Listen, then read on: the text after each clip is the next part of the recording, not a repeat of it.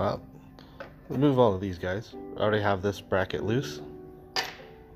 Got all the other brackets off. They just unscrew. There's a T-nut on the bottom. Get this guy loose. Now there's a wire attached, so don't pull too hard. Okay, see there's the wire. There's a positive wire going up to the top. I'm gonna check these sensors. That sounds good. It's not bouncing up and down, making a big clicky noise, and it's not moving. This one. Oh, okay. That one's not good. Look at that. We don't want it to spring up like that. Okay, so I'm gonna try to show you how to fix that with one hand. All right, unscrew one side.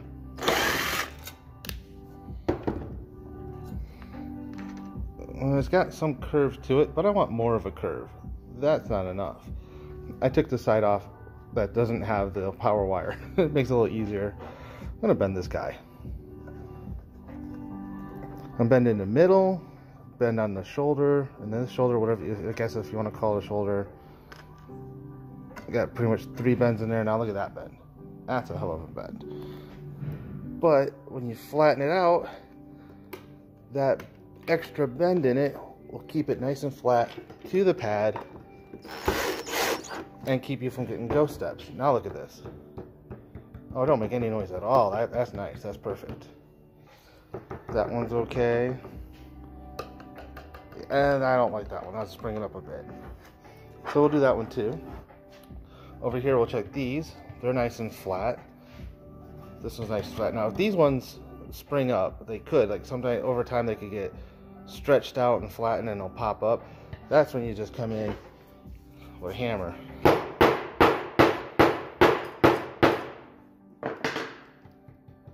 Much better.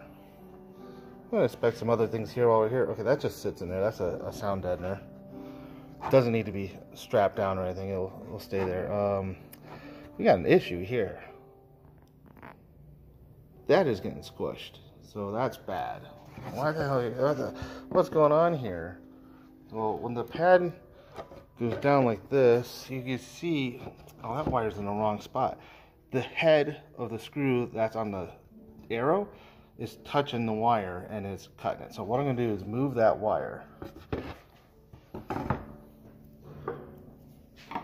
That's supposed to be that far over. I don't really have a complete guide on how to set these up and where everything's supposed to go. I'm gonna check this one here. I already have that one off. I'm gonna check that one again later. See, I want to make sure these don't go over the heads. Like if it's like this, over the top of the head, that's gonna interfere. It's gonna hit one of these pieces here or even the wood itself. Like you can see a mark here from where this one is actually hitting the head. Because, you know, these things aren't straight. You can tilt them and it, the corner could actually hit. Like you see this when the corner is hitting. That's on the extreme, but. All right, so I'm gonna pause it here because I need two hands. All right. Put a new staple in. Not hitting the head. I'm gonna pull it tight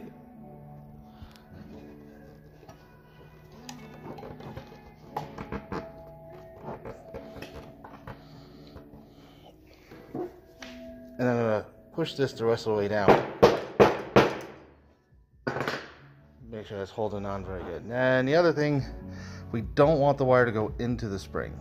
That's bad. Because when that squishes down, it's going to chop your wire. So I might actually readjust this so the wire hangs off the other side. And so when we flip it over, make sure that the wire does not get inside that spring. I might actually just pull that spring out and move it over a bit. There's they're spread out to each corner. They don't have to be perfectly in the corner. I can move it. It'll still work, and that will keep us or keep the spring from cutting the wire. All right, got my wire moved, oriented, oriented, oriented it this way. Can't speak. Looking in there, that looks pretty decent. We're not gonna hit the wires. I move the spring over a bit. You can see how it's down and over.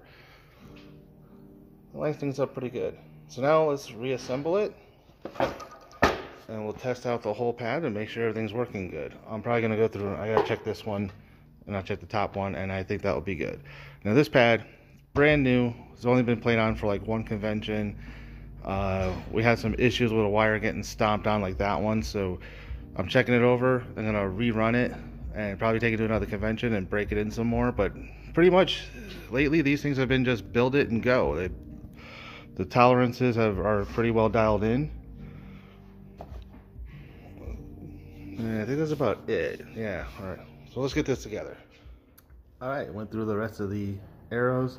All the contacts seem to be good. There was two more that were a little springy, so I flattened them back out. So let's give this a try.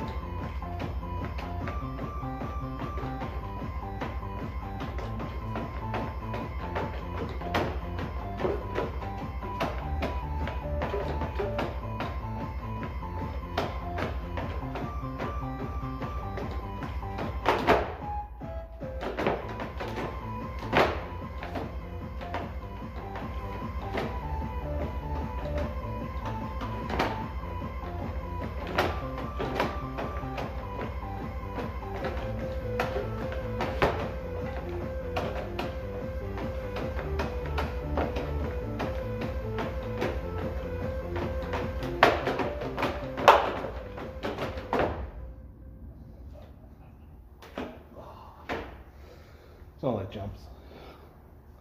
Those are working pretty good. So there's a good overview of how you can test and tune the DDR pads and make sure they're working in tip-top shape. If you have any questions, just shoot me a line. Uh, you can message me on YouTube or even go straight to my website and find my email. For now, have a fun time dancing.